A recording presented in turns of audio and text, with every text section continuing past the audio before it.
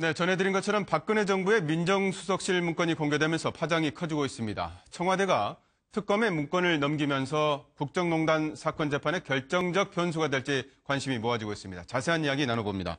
박창환 장한대 교수 나오셨습니다. 어서 오십시오. 네, 안녕하십니까. 네. 일단 그 청와대 문건이 발, 어, 견된 거는 3일인데 11일이 지, 11일이나 지난 지난 금요일 날 청와대가 공개했단 말이죠. 어떤 의도가 있을까요? 네. 일단 뭐 3일 날 발견하고 나서 이제 청와대에서의 공식적인 해명은 이렇습니다. 어, 대통령이 이제 유럽 순방 중이었거든요. 네. 보니까 핵심 인력이 이제 많이 외국에 나가 있었습니다. 어, 법적인 검토도 필요하고요. 네. 이게 진짜로 과연 그 민정 수석실에서 만들었던 건지 이런 네. 것들에 대한 확인 작업도 필요하고 네. 그러는데 시간이 걸렸다. 이게 네. 이제 청와대의 공식적인 해명인데 네. 어, 일각에서는 좀 타이밍이 네, 좀 정치적 어, 좀 의도가 정치적인 있느냐. 의도가 있는 거 아니냐. 네. 예를 들어 인사정국이 끝나고 이제는 본격적으로 어, 사정정국 또 이제 어떤 그 적폐 이제 청산 정국 일로 네. 가기 위해서 시점을 갖다가 어, 인사가 거의 마무리되는 이 시점으로 택한 게 아니냐. 뭐 이런 네네. 얘기도 나오고 있습니다. 또 그 청와대가 보통 그런 문건을 발견하면 수사가 진행 중이기 때문에 어떤 특검의 문건을 넘기면 되는데 생중계까지 좀 자체해 가면서 이런 문건을 밝혔다라는 것도 의도가 있지 않느냐 이런 의견도 나오고 있습니다. 네. 뭐 공식적으로 왜 생중계까지 이제 요청했냐 이런 거에 대해서는 어, 청와대에서 발견된 문건을 특검으로 넘기면 그만이지만 어, 이것을 둘러싸고 정치적으로 어, 오해가 생길 수 있다. 네. 그렇기 때문에 어, 국민들 앞에서 우리가 어, 검- 특검이나 검찰로 넘긴 게 어떤 문건이라고 하는 네네. 최소한의 내용 사실을 갖다가 공개할 필요성을 느꼈다라는 게 청와대의 이유고요.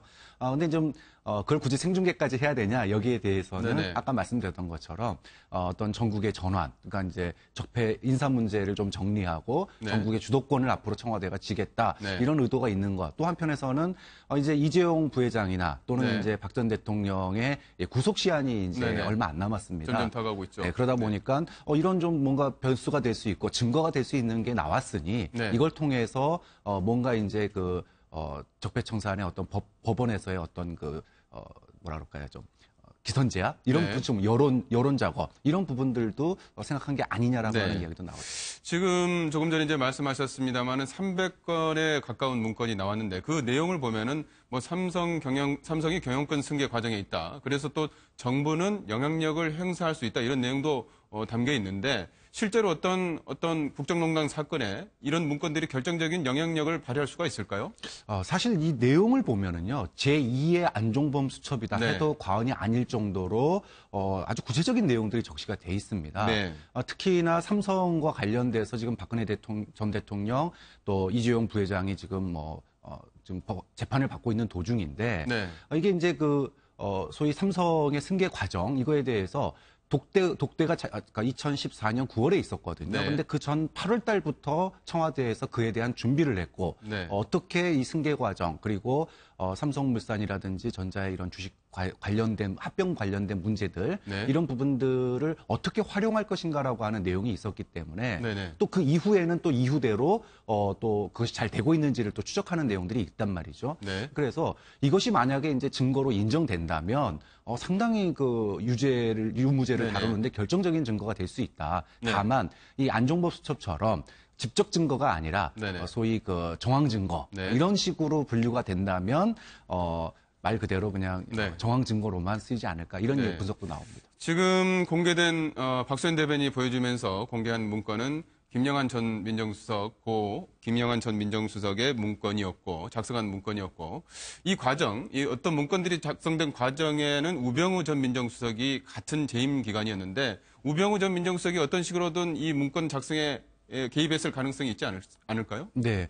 어, 원래 이제 민정수석 밑에 네 명의 이 비서관이 있습니다. 네. 근데 그 중에 이제 우병우 수석이 이제 민정비서관이었는데 다른 비서관들은 법률적인 여부를 따지는 또는 뭐 민원 이런 식으로 그 역할이 분장돼 있는데 이 내용을 보면 어서 이제 우병우 수석이 이제 비서관이었던 시절 네네. 6개월 네. 그리고 어 수석이 된 시- 시절 한 5개월 이 정도치가 포함돼 있거든요. 그러면은 어, 정황상으로 이게 어, 우, 우전 수석이 어, 작성하거나 또는 알고 있는 내용의 가능성이 상당히 높다라고 보고 있기 때문에 어, 좀 다른 부분에 대해서는 사실 시간이 이제 재판 중이고 시간이 너무 짧다 보니까 네. 이거에 대한 뭐 재수사나 이런 게 상당히 쉽지 않은 상황이지만 우전 수석 같은 경우에는 지금 어, 보강 수사라든지 네네. 앞으로 어, 새로운 좀 국면을 맞을 수도 있는 네. 상황이 될 것 같습니다. 우병우 수사가 다시 또 검찰에 소환되는 그런 음, 경우도 있을 것 같고요.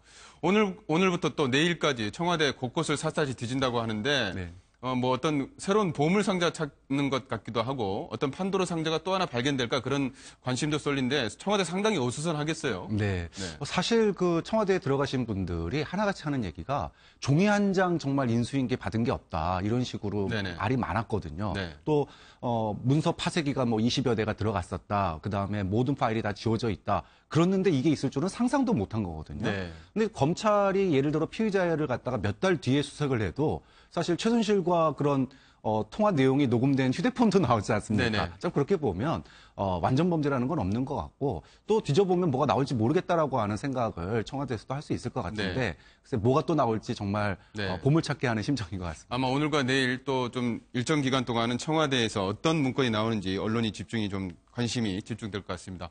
지금까지 박창원 장한대 교수였습니다. 오늘 말씀 고맙습니다.